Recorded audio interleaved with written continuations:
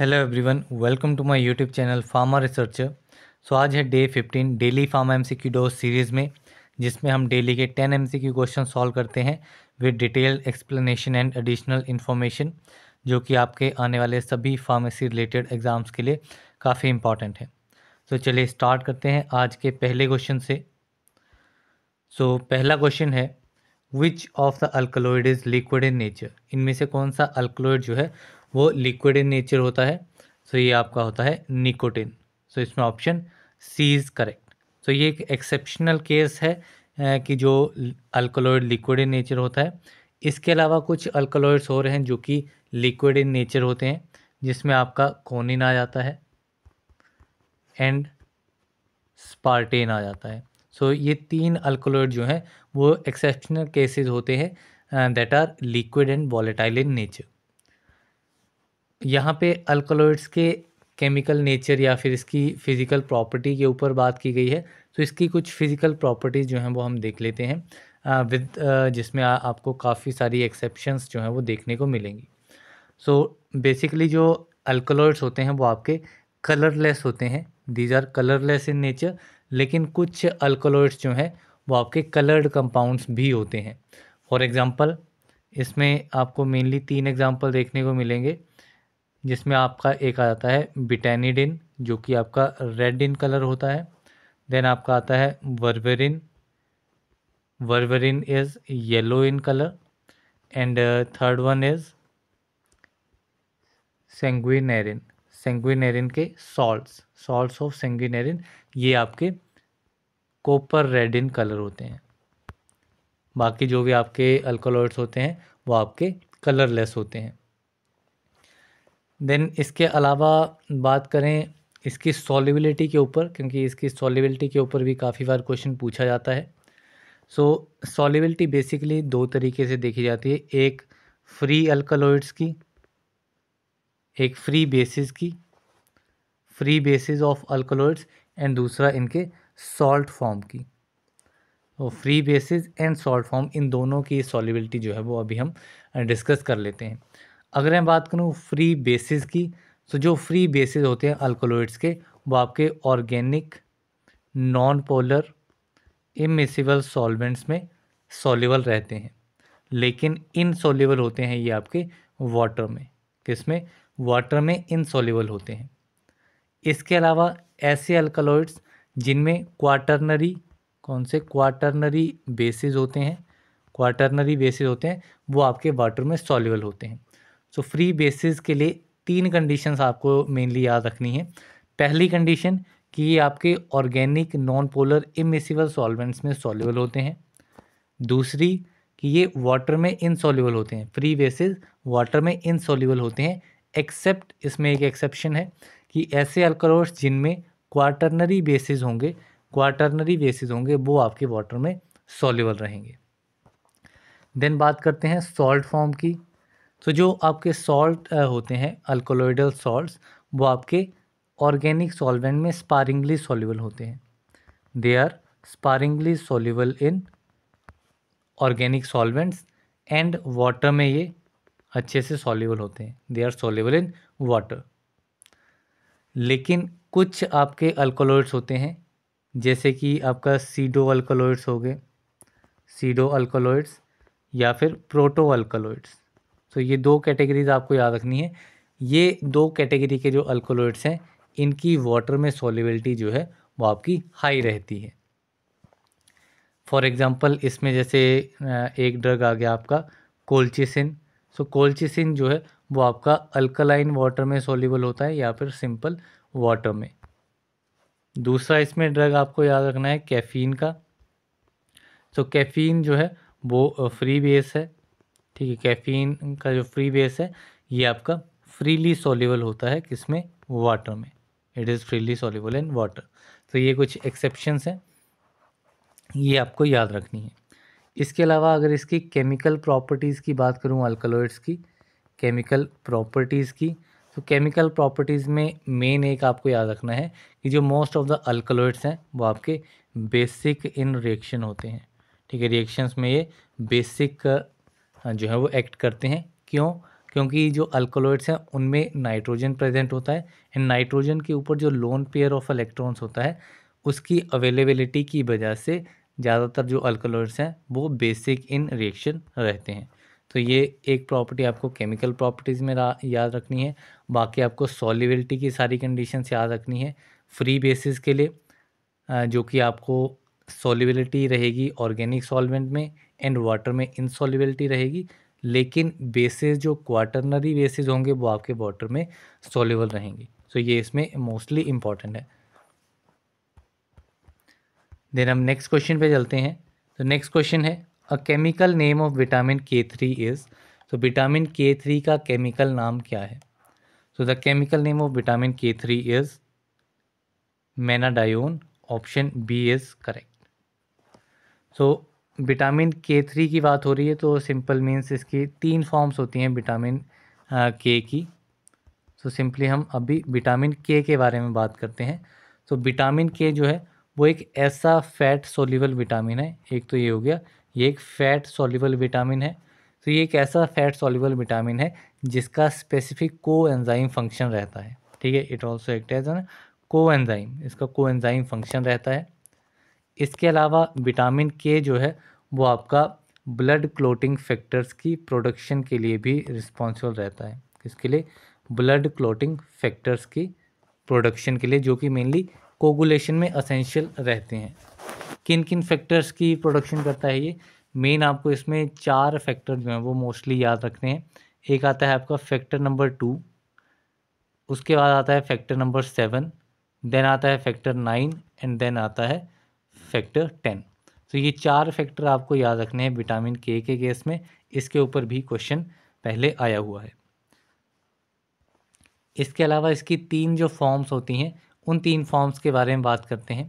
तो सबसे पहले आती है आपकी विटामिन के वन की अगर मैं बात करूँ तो विटामिन के वन होता है आपका phylloquinone vitamin K one is phylloquinone and ये आपका मेनली प्लांट्स में पाया जाता है। It is present in plants इसके बाद में विटामिन के टू फॉर्म जो है, विटामिन के टू आपकी होती है मैनाक्यूनोन ठीक है, विटामिन के टू होती है मैनाक्यूनोन एंड ये आपकी प्रोड्यूस होती है बाय द इंटेस्टाइनल बैक्टीरिया जो होते हैं इंटेस्टाइनल बैक्टीरिया से प्रोड्यूस होता है आपका विटामिन के टू एंड ये आपका एनिमल्स में भी पाया जाता है। देन इसके बाद जो थर्ड फॉर्म है, विटामिन के थ्री वो आपकी आ गई मैनाडायोन एंड मैनाडायोन जो है वो आपके एक सिंथेटिक फॉर्म है। ये क्या है? It is a synthetic form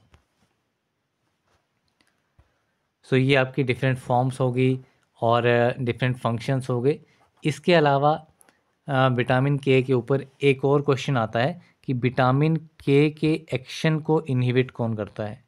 vitamin के के एक्शन को इनहिबिट कौन करता है? इनहिबिटर की बात कर लें तो इनहिबिटर आपका आता है वारफरिन वारफरिन जो है, वो आपके विटामिन के के एक्शन को इनहिबिट कर देता है। तो एक पॉइंट इसमें ये याद रखने वाला है।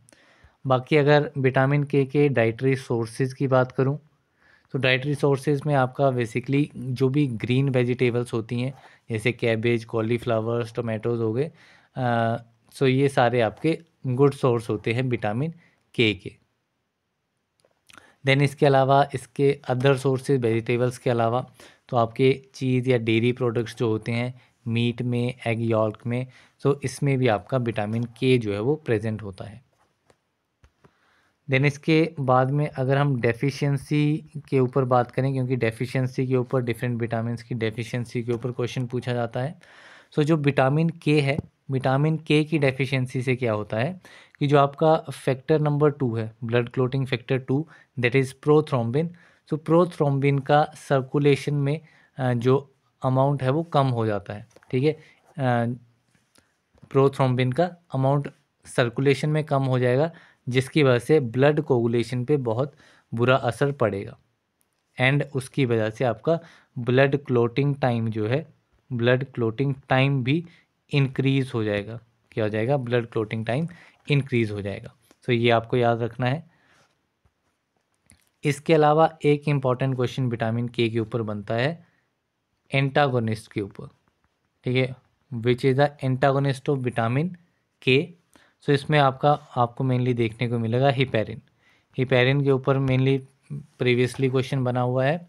इसके अलावा कुछ और कंपाउंड्स हैं जो कि आपके एंटागोनिस्ट की तरह एक्ट करते हैं फॉर विटामिन के जिसमें आपका बिस हाइड्रोक्सी काउमेरिन आ जाता है। बिस हाइड्रोक्सी काउमेरिन एंड इसके अलावा सेलिसाइलेट्स भी आपके एज एन एंटागोनिस्ट की तरह एक्ट करते हैं and dicoumarol dicoumarol भी आपका एंटागोनिस्ट है विटामिन के का। सो so, ये कुछ पॉइंट्स है विटामिन के के बारे में। अभी हम नेक्स्ट क्वेश्चन पे चलते हैं। तो नेक्स्ट क्वेश्चन है convert 132 pound to kilograms 132 pound को किलोग्राम में कन्वर्ट करना है। काफ़ी सिंपल क्वेश्चन है। इसके लिए आपको बेसिक फार्मूला जो है वो पता होना चाहिए। सो के जी एंड पाउंड में क्या फार्मूला रहता है? So K G and pound में रिलेशन रहता है कि K G is equal to pound divided by two point two. तो अगर आपको पाउंड से के जीज कैलकुलेट करने हैं तो सिंपल पाउंड वाली वैल्यू को टू पॉइंट टू से डिवाइड कर देंगे, सो आपका सिंपल के जीज में आंसर जो है वो आ जाएगा। तो इसमें सिंपली पाउंड दिए गए हैं, हमें वन थर्टी टू डिवाइड करेंगे इसको टू पॉइंट टू से तो हमारा फाइनल आंसर जो है वो आ जाएगा sixty K G that means हमारा ऑप्शन नंबर बी जो है वो करेक्ट आंसर हो जाएगा. सो अभी नेक्स्ट क्वेश्चन पे चलते हैं. सो नेक्स्ट क्वेश्चन है time required to kill a specific microorganism at a given temperature under specific condition is called so किसी भी माइक्रो ऑर्गेनिज्म को, किसी स्पेसिफिक माइक्रो ऑर्गेनिज्म को किल करने के लिए जितना टाइम रिक्वायर्ड रहता है, उस टाइम को क्या कहा जाता है? So this time is known as thermal death time so इसमें option D is correct so इसके अलावा यहाँ पे डी वैल्यू दी गई है जेड वैल्यू इनएक्टिवेशन फैक्टर इनके ऊपर भी डेफिनेशन के ऊपर क्वेश्चन बनता है। काफ़ी बार पूछा भी गया है डी एंड जेड वैल्यू के ऊपर। सो इतनी टर्म्स को अभी हम डिस्कस कर लेते हैं। तो सबसे पहले बात करते हैं डी वैल्यू की। तो डी वैल्यू आपका होता है decimal reduction time what is D value D value is decimal reduction time अब डेसिमल रिडक्शन टाइम क्या होता है? ये ऐसा टाइम होता है टाइम हम कंसीडर करते हैं, इसमें टाइम और डोज दोनों ही जो है वो कैलकुलेट की जाती हैं। ठीक है? ऐसा टाइम होता है टाइम हम किस केस में यूज़ करेंगे? जब भी हीट या फिर केमिकल एक्सपोज़र रहेगा। हीट और केमिकल एक्सपोज़र के लिए टाइम का यूज़ किया जाएगा। एंड अगर हम डोज़ की बात करेंगे तो डोज जो है वो आपका रेडिएशन के केस में रहेगा। सो डी वैल्यू क्या होती है?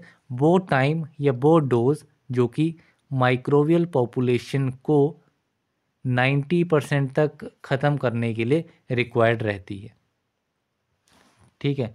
मान लो हंड्रेड बैक्टीरिया हैं, सिंपल मैथमेटिकल वे में समझते हैं। हंड्रेड माइक्रो ऑर्गेनिज़म है। हंड्रेड में से नाइन्टी माइक्रो ऑर्गेनिज़म्स को किल करने के लिए अगर हमें टू मिनट्स लग रहे हैं तो वो आपका डी वैल्यू हो जाएगा। ठीक है, वैसे कोई स्पेसिफिक डोज रहेगी। सो नाइन्टी परसेंट तक उसको रिड्यूस करने के लिए जो भी आपका टाइम या डोज रिक्वायर्ड रहेगा, वो आपका हो जाएगा डी वैल्यू देन बात करते हैं जेड वैल्यू को। जेड वैल्यू को समझने के लिए डी वैल्यू का पता होना चाहिए। तो डी वैल्यू हमने देख लिया क्या होता है। अब जेड वैल्यू क्या होता है? जेड वैल्यू को कहा जाता है thermal destruction time thermal destructive value sorry thermal destructive value कहा जाता है जेड वैल्यू को। अब जेड वैल्यू क्या होती है? जेड वैल्यू होती है कि हमें जो डी वैल्यू है डी वैल्यू में टेन टाइम्स जो है वो चेंज लाने के लिए कितना टेम्परेचर जो है वो चेंज करना पड़ेगा। ठीक है डी वैल्यू में टेन टाइम्स मीन्स टेन के फैक्टर से चेंज करने के लिए हमें कितना टेम्परेचर जो है वो चेंज करना पड़ेगा, कितना डिग्री ऑफ़ टेम्परेचर चेंज करना पड़ेगा, वो आपका होता है जेड वैल्यू तो यहाँ पे दोनों टर्म्स हमने देख ली Z value and D value अभी हम देखते हैं इन एक्टिवेशन फैक्टर के बारे में। सो इनएक्टिवेशन फैक्टर क्या होता है? तो इनएक्टिवेशन फैक्टर होता है कि किसी एक पर्टिकुलर स्टरलाइजेशन प्रोसेस से आ, हमारा जो माइक्रो ऑर्गेनिज़म है वो कितना रिड्यूस हुआ है। ठीक है? कितनी रिडक्शन हुई है माइक्रो ऑर्गेनिज़म की by a specific sterilisation process वो आपका हो जाता है इनएक्टिवेशन फैक्टर सो ये चारों टर्म्स हैं। चारों टर्म्स इंपॉर्टेंट हैं। चारों टर्म्स के बारे में आपको पता होना चाहिए। देन अभी नेक्स्ट क्वेश्चन पे चलते हैं। तो नेक्स्ट क्वेश्चन है in which of the following oxygen is not use तो इनमें से किस केस में ऑक्सीजन का यूज़ नहीं किया जाता है? तो पहले बात करते हैं सेवियर पल्मोनरी डैमेज तो सेवियर पल्मोनरी डैमेज में जो ऑक्सीजन है, वैसे तो ट्रीटमेंट के लिए या क्यूर क्यूरेशन के लिए रेस्पिरेटरी प्रॉब्लम्स में ऑक्सीजन थेरेपी नहीं दी जाती है। लेकिन ऑक्सीजन जो है वो रिक्वायर्ड रहती है हमारे जो भी ऑर्गन्स हैं उनको हेल्दी रखने के लिए एंड प्रॉपर फंक्शनिंग के लिए। तो ये ऑक्सीजन का जो काम रहता है रेस्पिरेटरी प्रॉब्लम्स में। तो यहाँ पे ऑक्सीजन का यूज़ रहता है। देन बात करें मोनो कार्बन मोनोऑक्साइड पॉइजनिंग के केस में। तो कार्बन मोनोऑक्साइड पॉइजनिंग के केस में क्या रहता है? जो हमारी ऑक्सीजन होती है, वो कार्बन मोनोऑक्साइड को रिप्लेस कर देती है ब्लड में। जिसकी वजह से जो हमारा हार्ट एंड ब्रेन टिश्यूज़ हैं, वो कार्बन मोनोऑक्साइड डैमेज से प्रोटेक्ट हो जाते हैं। तो यहाँ पे भी हमारी ऑक्सीजन जो है वो यूटिलाइज होती है। देन बात करें रॉकेट फ्यूल्स में। तो रॉकेट फ्यूल्स में जो है, वो ऑक्सीजन जो है वो एज एन ऑक्सीडाइज़र की तरह यूज़ होती है। ऑक्सीडाइज़र की तरह यूज़ होती है which means it helps in the burning of fuel fuel की बर्निंग में ये हेल्प करती है। एंड मेनली uh, ये लिक्विड फॉर्म में ऑक्सीजन जो है वो यूज़ की जाती है in rockets as an oxidiser so यहाँ पे भी ये यूज़ होती है। देन बात करें सॉफ्ट ड्रिंक्स की तो सॉफ्ट ड्रिंक्स में आपकी ऑक्सीजन का यूज़ नहीं होता है। इसमें कार्बन डाइऑक्साइड जो है वो मेनली यूज़ की जाती है। तो so, इस क्वेश्चन का करेक्ट आंसर जो है वो हमारा रहेगा option number D in soft drinks oxygen is not use the next question है। Number of pharmacist required for hospital up to 200 beds तो हॉस्पिटल में 200 बेड्स तक के लिए कितने नंबर ऑफ़ फार्मासिस्ट रिक्वायर्ड रहते हैं? सो so, इसमें आपके total eight in number pharmacist जो हैं वो रिक्वायर्ड रहते हैं up to two hundred beds तो ये भी काफ़ी इंपॉर्टेंट है। डिफरेंट नंबर ऑफ़ बेड्स के लिए डिफरेंट नंबर ऑफ़ फार्मासिस्ट की रिक्वायरमेंट रहती है। तो वो अभी हम एक बार डिस्कस कर लेते हैं। कि कितने बेड्स के लिए कितने नंबर ऑफ़ फार्मासिस्ट रिक्वायर्ड रहते हैं। सो so, अगर मैं बात करूँ अप टू फिफ्टी बेड्स के लिए ठीक है फिफ्टी बेड्स के लिए मैं बात करूँ तो फिफ्टी के लिए आपको सिर्फ़ थ्री फार्मासिस्ट जो हैं वो रिक्वायर्ड रहते हैं। देन बात करूँ अप टू हंड्रेड बेड्स के लिए तो हंड्रेड बेड्स के लिए आपके पास फाइव फार्मासिस्ट जो हैं वो होने चाहिए। देन बात करें टू हंड्रेड बेड्स के लिए तो टू हंड्रेड बेड्स के लिए आपके पास एट हंड्रेड फार्मासिस्ट होने चाहिए जो इस क्वेश्चन का आपका करेक्ट आंसर था। देन अगर मैं बात करूँ थ्री हंड्रेड के लिए ठीक है अगर थ्री हंड्रेड बेड्स हैं तो उसके लिए रिक्वायर्ड फार्मासिस्ट आपके पास टेन होने चाहिए टेन इन नंबर देन अगर मैं बात करूँ फाइव हंड्रेड बेड्स के लिए तो फाइव हंड्रेड के लिए आपके पास फिफ्टीन फार्मासिस्ट जो हैं वो रिक्वायर्ड रहते हैं। सो so, ये नंबर ऑफ़ फार्मासिस्ट आपको पता होना चाहिए कितने बेड्स के लिए कितने फार्मासिस्ट चाहिए? इसके ऊपर काफ़ी बार क्वेश्चन पूछा जाता है। हॉस्पिटल फार्मासिस्ट के लिए तो डेफिनेटली यहाँ से क्वेश्चन पूछा जाता है।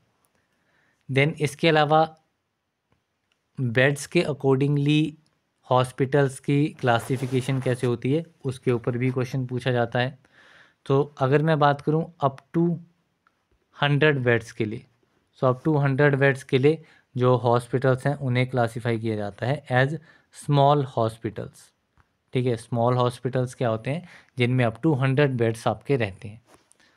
वहीं अगर मैं बात करूँ मीडियम हॉस्पिटल्स की मीडियम हॉस्पिटल्स की तो मीडियम हॉस्पिटल्स में आपके हंड्रेड से लेकर के थ्री हंड्रेड बेड्स जो हैं वो रहते हैं। अगर किसी हॉस्पिटल में हंड्रेड से थ्री हंड्रेड बेड्स हैं तो उसको कैटेगराइज किया जाएगा as a medium hospital then बात करें लार्ज हॉस्पिटल्स की तो लार्ज हॉस्पिटल्स हम तब कहेंगे जब किसी हॉस्पिटल में आपके more than three hundred beds जो हैं, वो आपके रहेंगे।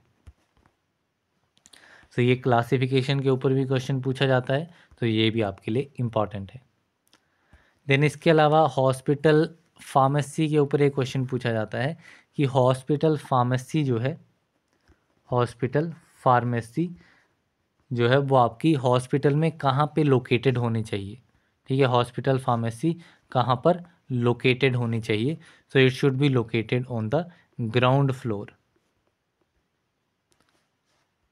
so पिछले आ, साल जो जितने भी फार्मासिस्ट के क्वेश्चन पूछे गए हैं उसमें आपका बेड्स के ऊपर भी क्वेश्चन आया हुआ है। इसके ऊपर भी क्वेश्चन आया हुआ कि कहाँ पे लोकेटेड होना चाहिए हॉस्पिटल फार्मेसी एंड जो क्लासिफिकेशन मैंने आपको बताई उसके ऊपर तीनों पार्ट के ऊपर जो है वो क्वेश्चन पूछे गए हैं लास्ट ईयर में। सो अभी नेक्स्ट क्वेश्चन पे चलते हैं। सो नेक्स्ट क्वेश्चन है अगार इज़ सो अगार क्या है? किस कैटेगरी का पॉलीसेक्राइड है? तो अगार इज़ अ हेट्रोपोलीसेक्राइड सो इसमें ऑप्शन डी जो है वो करेक्ट आंसर है। अगर मैं अगार की बात करूँ तो अगार जो है, उसमें दो डिफरेंट पॉलीसेक्राइड्स होते हैं। इसमें टू डिफरेंट पॉलीसेक्राइड्स होते हैं। दो डिफरेंट कौन कौन से होते हैं? एक आपका आता है एगारोस वन इज़ एगारोस दूसरा आता है अगैरोपेक्टिन एगैरोपेक्टिन अब दोनों के अलग अलग फ़ंक्शंस रहते हैं। जो आपका एगारोस है एगारोस पॉलीसेक्राइड वो आपका जेल स्ट्रेंथ प्रोवाइड करता है। It provides the gel strength of agar जबकि जो एगैरोपेक्टिन है, वो आपका बिस्कॉसिटी प्रोवाइड करता है। It provides the viscosity to the agar solution तो ये अगार के बारे में ये चीज़ें जो हैं वो इंपॉर्टेंट है। दोनों पॉलीसेक्राइड के बारे में आपको पता होना चाहिए। दोनों का क्या क्या फ़ंक्शन है वो आपको पता होना चाहिए। एंड किस कैटेगरी में आता है ये? हेट्रोपोली हेट्रोपोलीसेक्राइड्स सो अभी नेक्स्ट क्वेश्चन है हमारा। A medicinal agent which promotes the secretion of bile तो ऐसा मेडिसिनल एजेंट जो कि बाइल की सिक्रीशन को प्रमोट करता है, उसे क्या कहा जाता है? सो बाइल के केस में आपका आएगा चोला गोगी सो इसमें ऑप्शन डी जो है वो करेक्ट आंसर है। इसके अलावा अदर जो ऑप्शंस हैं, इनके ऊपर भी क्वेश्चन पूछा गया है।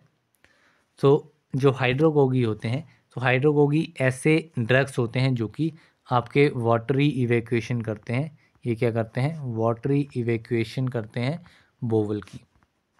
Watery evacuation of the bowel जो करेगा वो होगा आपका हाइड्रोगोगी।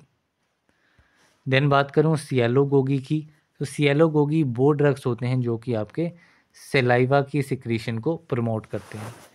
Those are the drugs which promote the secretion of saliva these are sialogogues then बात करूँ एमेना गोगी की तो एमेना गोगी ऐसे सब्सटेंस होते हैं जो कि आपके मेंस्ट्रुअल फ्लो को दे इंक्रीजेज और स्टिमुलेट द मेंस्ट्रुअल फ्लो तो ये एक डेफिनेशन आपको याद रखनी है। तो यहाँ पे चार डिफरेंट डेफिनेशन हमने देख ली। इसके अलावा एक डेफिनेशन आपको इसी में और देखनी है सिमिलर वाली दैट इज़ गैलेक्टोगोगी गैलेक्टोगोगी तो इसके ऊपर भी क्वेश्चन पूछा जाता है। तो गैलेक्टोगोगीज वो एजेंट्स या वो ड्रग्स होते हैं जो कि आपके मिल्क की सिक्रीशन को इंक्रीज़ करते हैं इन द ब्रेस्ट ब्रेस्ट में मिल्क की सिक्रीशन को इंक्रीज़ करने वाले एजेंट्स आपके होते हैं गैलेक्टोगोगी तो ये डिफरेंट डेफिनेशंस सारी की सारी ही पूछी गई हैं। सो वी नेक्स्ट क्वेश्चन है हमारा। सो नेक्स्ट क्वेश्चन है in second year of cultivation digitalis purpurea bear dash type of leaves तो डिजिटेलिस पुरपुरिया के कल्टीवेशन के दूसरे साल के दौरान जो लीव्स हैं वो किस टाइप के होते हैं?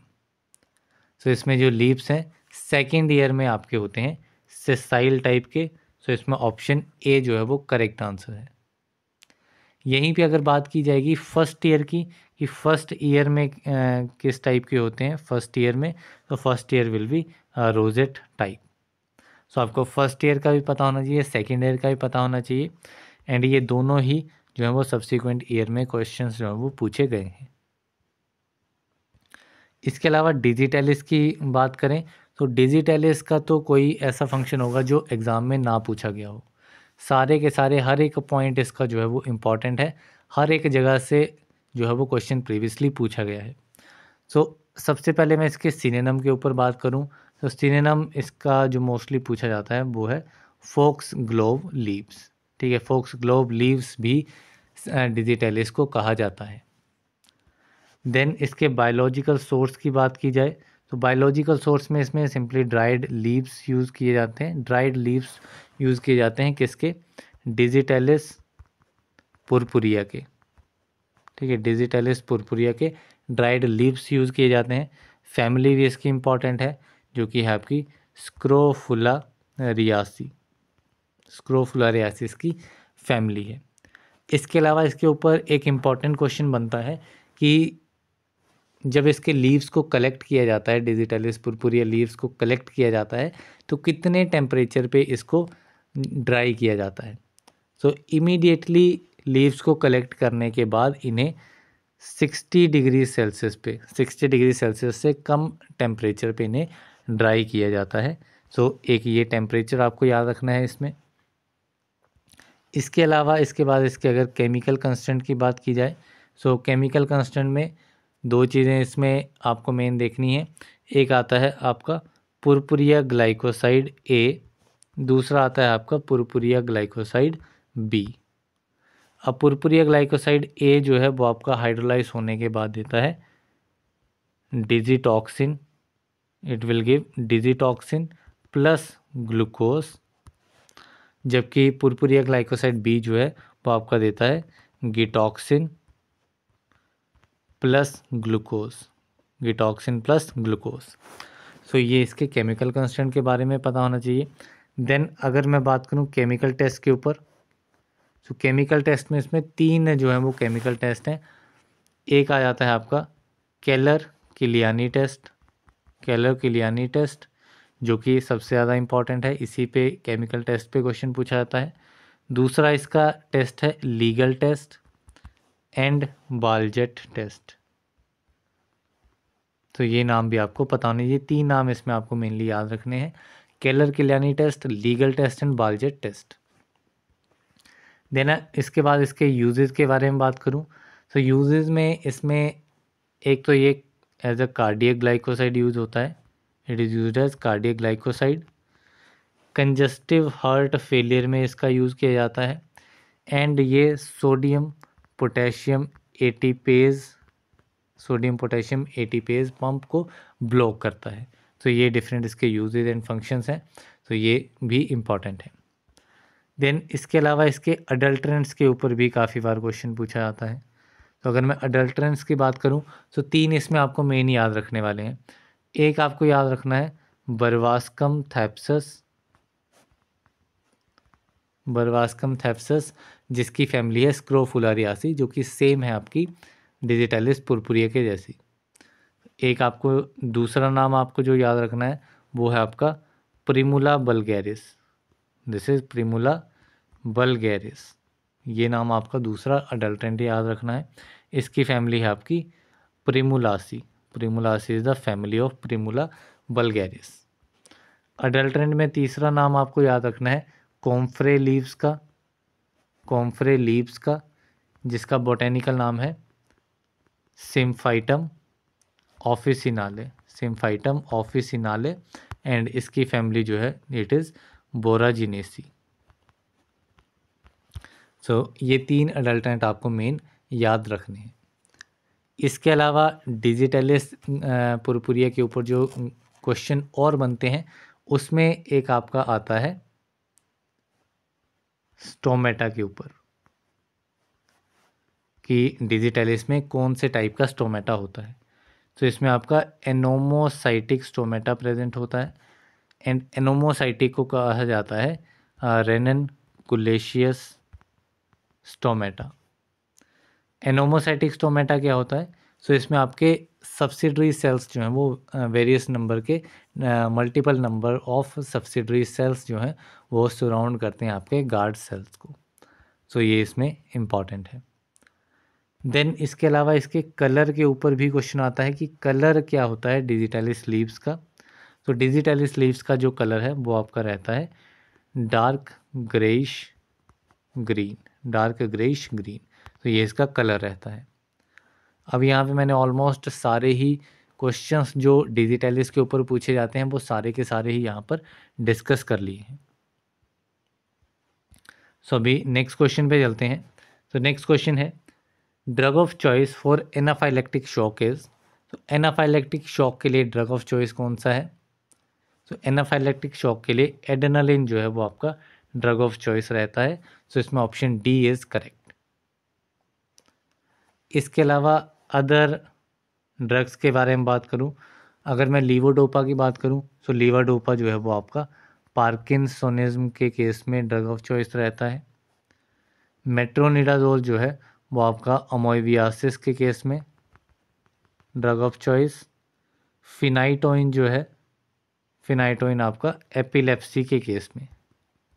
Phenytoin is for epilepsy. इसके अलावा अदर ड्रग ऑफ़ चॉइस की बात करूँ जैसे कि आपका एक्यूट गाउट के केस में अगर मैं बात करूँ तो इस केस में आपके नसेट्स जो है non steroidal anti inflammatory drugs ये आपके ड्रग ऑफ़ चॉइस रहते हैं। देन बात करूँ टाइफॉइड फीवर की टाइफॉइड फीवर की तो इस केस में क्लोरम फेनिकोल जो है, वो आपका ड्रग ऑफ़ चॉइस रहता है। देन बात करूँ लेप्रोसी लेप्रोसी कंडीशन में आपका डेप्सोन ड्रग आपको याद रखना है लेप्रोसी के केस में। देन एक कंडीशन आती है माइस्थेनिया ग्रेविस माइस्थेनिया ग्रेविस ये भी काफ़ी इंपॉर्टेंट है। तो माइस्थेनिया ग्रेविस के केस में नियोस्टिगमिन जो है, वो आपका ड्रग ऑफ़ चॉइस रहता है। इसके अलावा फिलेरियासिस एक कंडीशन आती है, जो कि मल्टीपल टाइम्स इस पर क्वेश्चन पूछा जाता है।